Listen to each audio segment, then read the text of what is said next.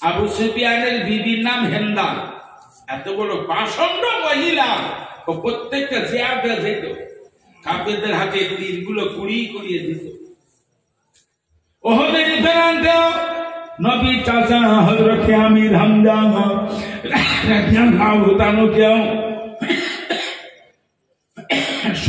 করেছিল। বলে বিখ্যাত বেঈমান। আমার ভাইজানেরা ওই সময় আবু সুফিয়ানের বিবি হেন্দা হাজরাত আমির হামদার পেটের উপরে বসে কপিয়ে কপিয়ে বুকটা ফেলে আমার দিল কলিজা বাদ করে টকবক টকবক করে দিল কলিজায় রক্ত। ওই কাঁচা দিল কলিজা হেন্দা নবীজি সামনে নিয়ে চিবিয়ে চিবিয়ে দেখাচ্ছিল হ্যাঁ, মুসলমানেরা, হেন্দা নবী সামনে হাজির আবু সুফিয়ান নবী সামনে হাজির যে ওয়াহাসিয়া হাজারাত আমির হামদা শহীদ করেছিল। ওয়াহাসি সামনে জেহাদের রসুল আল্লাহ ইসলাম মানুষেরা তোরা ক্ষমা করতে পারে অগনবী আপনাকে আমরা যেতে দেব না। আপনি আমাদের কলেমা পড়িয়ে দিন। আমাদের জীবনগুলো আপনার কদমে বিলীন করে দিলাম। আল্লাহ নবী ওদের সকলের কলেমা পড়িয়ে মুসলমান করে দিল। নবী বলল, তোমরা তাড়িয়ে দিয়েছিলে। মদিনাবাসী আমার আস্থা রাখেছে। আমি মদিনায় চলে যাব। মহাব্বতের দরদ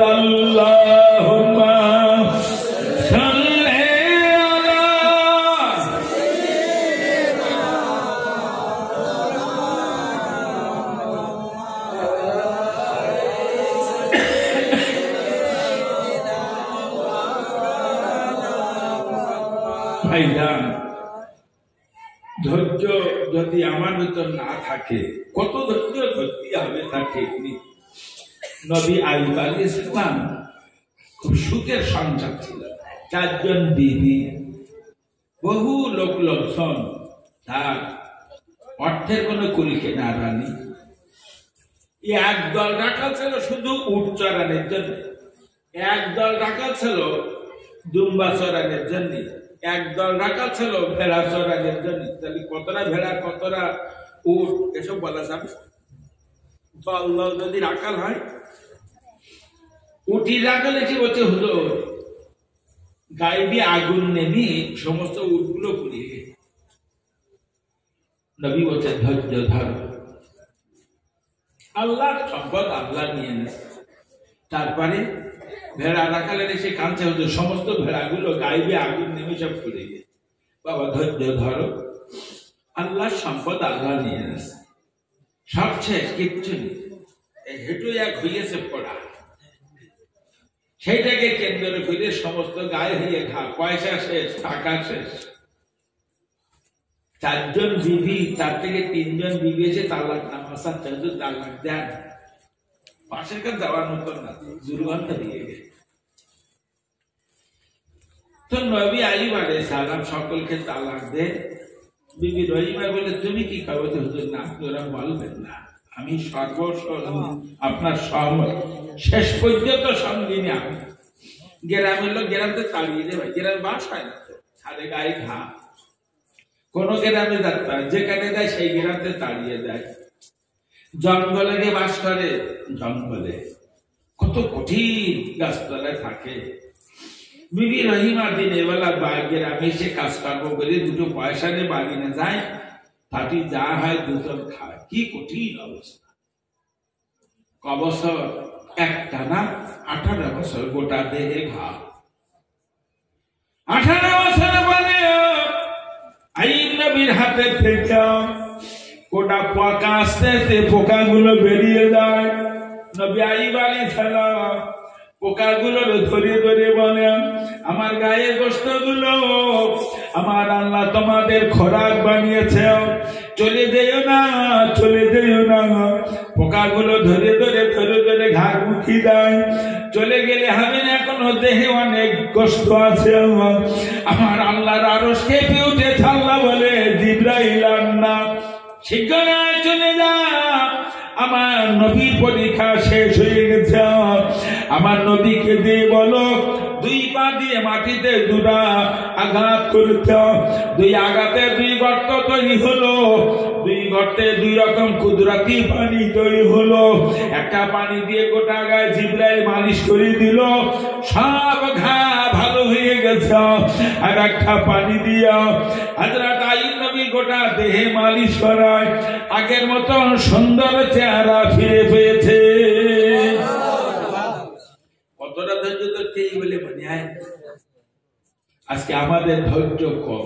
অমাদু ধৈর্যের সঙ্গে কথা বলো ধৈর্য ধরো। বুঝেছেন? মাদ্রাসায় বসে রেখে চারটে পাঁচটা যুবক এই এসে বলতে হুজুর এই ছেলেটা এরকম ডাক করে ওর বৌদি, এই এই বলে সেটা তালাক দিয়ে। তাহলে কবে বলে যদি সপ্তাহখানি খাইয়ে তাহলে এক সপ্তাহ পরে আবার ফতোয়া দানতে আছে কেন? যদি এখন বলতে লেব। যদি এখন এক সপ্তাহ হয়নি তো। অন্তত বছর খানিক যান। এত তাড়াতাড়ি রাগ নেমে গেল। এত রাগ হয়ে কেন এর নাম মুসলিম কওম এদের নামই বেশি নাম কোটে যান, উকিলের কাছে সব ওই বৌতালাক মেয়ে অত্যাচার জুলুমবাসী সব বেশি আমার কওমের। অগণিত অগণিত কেস। কোটে দিয়ে দেখেন কে না, মেয়ে জুলুমবাসীতে সহ্য অত্যাচার সহ্য করতে না পেরে কোর্টে কেস করে এদের ধৈর্য কম। না আছে মেয়ে ছেলের ধৈর্য না আছে পুরুষের ধৈর্য আমার আমার একটু ধৈর্য ধরে, আমার স্ত্রীর সঙ্গে যদি আমি কথা বলি, ও যদি আমার গরমটা ধৈর্য ধরে কথা বলে, তাহলে তালাক গুণ হয় না বল। সব আমাকে তেজের জন্য তেজ আমাদের পাশে বেশ কিছু ভিন্ন কম আছে। এই মারামারি ঝগড়া যখন হয়, তখন ওরা দড়িয়ে এসে মাঝখানে দাঁড়িয়ে সব ঠান্ডা করে কি কি তোরা সব এই কম। আমার বুঝানোর মতন ভাষা নেই। আল্লাহ বলেছে, আমি ধৈর্যশীলের সঙ্গে থাকি। আল্লাহ বলো, কোরআনে কোন জায়গায় বলিনি, আমি নামাজির সঙ্গে থাকি। আমি কোরবানি দাতার সঙ্গে থাকি। আমি বড় দানকারীর সঙ্গে থাকি। বড় মিলাদ দেওয়া লোকের সঙ্গে থাকি, আল্লাহ বলেনি বল। আল্লাহ বলেছে আমি ধৈর্যশীলের সঙ্গে থাকি। প্রত্যেকের ধৈর্য ধরা উচিত। আর আমার নবী কি ধৈর্য ধরে একটু বলেন? বসে বসে হিসেব করবেন আমি আর বাড়াবো না। বলিছি না তাড়াতাড়ি মোনাজাত করব। তো খিচুড়ি একটু গরম গরম টেস্ট লাগে। আর বেশি ঠান্ডায় গেলে ও দুধ নড়ে যায়। এই জন্য আমি মোনাজাত করার জন্য তৈরি হয়ে গেছে, সালাম ক্যাম হয়ে গেছে, মোনাজাত হবে। এখন ইমাম সাহেব হ্যাঁ? ইমাম সাহেব বলেছে আর বছরে খিচুড়ি, চাল, আলু সব কিনতে। বলেছি আমি এইবার। আবার এক ঘণ্টার বেশি বলো, ধৈর্য রস করি, শুধু ধৈর্য ধরতে বলেছি। ধৈর্য ধরতে বলে কেনা আল্লাহ। আরে আমার আল্লাহর কতটা ধৈর্য দেখেছেন? এত পাবজি খেলা করতেছে একটু বড় ব্যায়াম হয় না ওরা এত পরিমাণ কি ফ্রি ফ্রি ফায়ার হচ্ছে তো বুঝি না তো। ওই ঘষতেতে রাত দুটোর সময় হাঁকা করছে দশ বারোটা শ্রেণি স্কুল মাঠে ওই ঘটতে ঘটতে ঘষতে ঘটতে হাঁকা কাটছে কি হয়েছে রে? ওই যে ওই ফ্রি ফায়ার হচ্ছে কি সর্বনাশ হচ্ছে। সময় সব শেষ করে দেবে। শিগগিরই বলব আগামী বছর এই জান্নাতের বাগানের জন্য পাঁচশো টাকা, এক হাজার টাকা কেটা কেটা দেবা। আর এক মন চাল, পঞ্চাশ কেজি চাল তাবারক বানাতে কেটা দেবা। দেখেন, আমার নজর খুব মোটা বলো কেন বলেন দি? আমার সকালবেলা সকালবেলা ফজরের নামাজের পরে এক কুইন্টাল চাল দিয়া সন্ধ্যেবেলা আর এক কুইন্টাল চাল দিতে হয় রাধুন দিতে ওই জন্য আমি না পাঁচ কেজি, দশ কেজি চাল কারু কাছ দেই তো আমার একটু নজর মোটা তো। তো বলবা, মধু?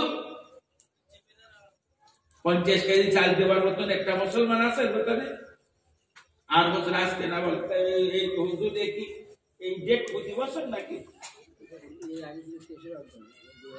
আচ্ছা সে সেই অগারণ মাসে হবে। কেউ বলবেন?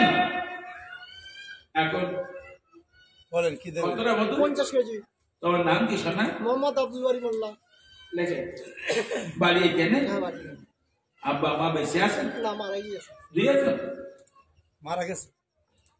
একটু জোরে তকবির দেন দি নারায় তকবির আমি বাইরামের লোক দেখতে পাই আমার একটা বিরাট। আমি বলল দুনিয়ার বাইরামের লোক। আমি রাত্রে দুটো রুটি খাব তার চারটে বড়ি খেয়ে তাই দুটো রুটি খাব। খাওয়ার পরে আবার দুটো বড়ি খেতে হবে। দুপুরবেলা দুটো ভাত খেয়েছি চারটে বড়ি খেয়ে তাই দুবেলা ভাত খাই।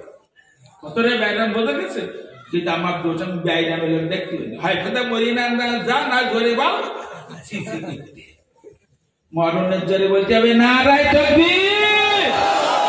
হ্যাঁ, এরকম কি নাম বললে ভাই? আল্লাহ আপনার বান্দা আব্দুল বারি ভাই। জান্নাতি মেহমানদের খাবারক বানাতে পঞ্চাশ কেজি খান দেবে সোনার মধুর বাপ কবরে মা কবরে আল্লাহ দাদা দাদিরা কবরে। ওদের খবরে জান্নাতের তাবারক দয়া করে পৌঁছে দিও না। আল্লাহ আমার আব্দুল বারি ভাঙার মনে নেক আশাকে পুরা করুন আল্লাহ কেমতের দিন সাফাত নসিব করিবেন একটু মহাব্বত করে বলেন আল্লাহ আর একজন বলবেন? আর একজন বলবেন কি? পঞ্চাশ কেজি চাল? যদি বেশি মনে করেন তাহলে এখন তো পঁচিশ কেজি চালের বস্তা উঠে না? পঁচিশ কেজি চাল যদি কেউ দিতে চান, একটু বলেন। ও শোনা তাড়াতাড়ি না বললি খিচুড়ি টক হয়ে গেলে আমার দোষ না বল। তখন যে ধরবা তোর জন্য খিচুড়ি টক হয়ে গেলে। আমি বলো জবাব দিতে পারব না। সেখানে বলো মধু। পঁচিশ কেজি, পঞ্চাশ কেজি চাল দেবে আজকে না আগামী বছর। তা বারো পারা এখন প্রায় যদি রক্তের কাছাকাছি ছেড়েছে হ্যাঁ এখন দোয়া খাইয়ে ভাবে, দোয়া কবুলিয়াতের সময় একটু বলেন, পঁচিশ কেজি চাল কেউ বলবেন? সে কিনে বলো শোনা? পঁচিশ কেজি, পঞ্চাশ কেজি চাল এখানে অনেক মেয়ে ছেলে আছে ওদের কাছে একবার যেয়ে দেখো ওরাও কিছু দিতে পারে কি মেয়ে ছেলেরা দান করে এখানকার হ্যাঁ? তা দে- একবার যেয়ে দেখেন ওরা কি বলে ইমাম সাহেব কানে গে মসজিদি করতে ডাকো ও ভাই পঁচিশ কেজি চাল কেউ বলবে না একটু পঁচিশ কেজি চাল পঞ্চাশ কেজি পঁচিশ কেজি আচ্ছা আমার ভুল কি ভাবে বলো হয়তো কারও নিয়ে ধরে গেছে এক কুইন্টাল দেবো।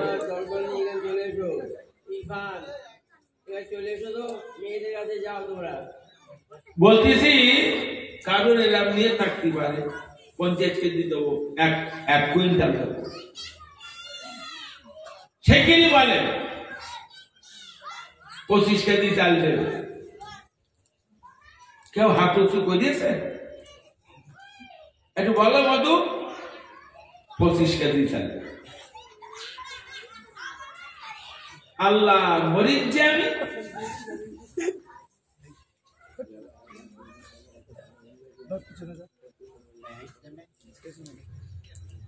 আচ্ছা এক বস্তা আলু কেউ দেবেন? বলছি, লোকজন ওই দুটা লোক ওই মেয়েদের কাছে পাঠাও, খাতা কলম নেই ওরা কিছু দেয় কি?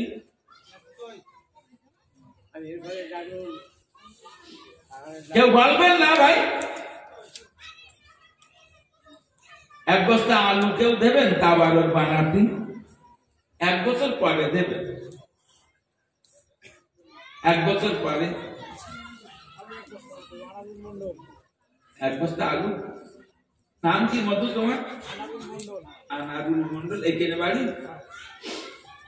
কচিরা জোরে তকবির নারায় তকবির আল্লাহ আমার ভাই, নারা, আনারুল ভাই, এক বস্তা আলু দেবে।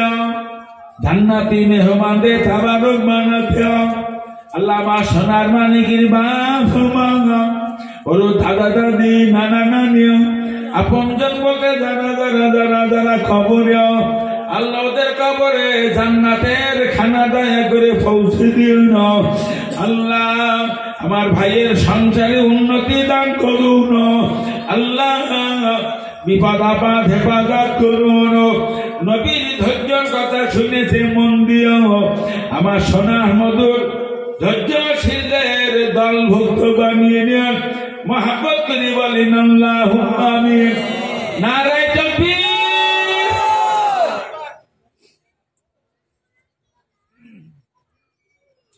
কেউ বলবেন? পাঁচ কেজি ডাল, দশ কেজি ডাল। আপনি দু পাঁচ কেজি করে নেই তো। তার মানে আমার এক বস্তা ডাল কিনতে হবে, তার দাম তিরিশ কেজির বস্তা ডাল পাওয়া যায়। তো এক একদিন এক বস্তা করে ডাল এ বেলা হাত ও বেলা হাত এই পাঁচ কেজি ডাল নিয়ে কি করবে ওই জন্য আমার নজর খুব মোটামুটি আমি যা ধরি একদম বাঘের মতো ধরি একদম পায়ে জড়ি ধরে বলি আজকে দিনই সাইকেল দেওয়া লাগবে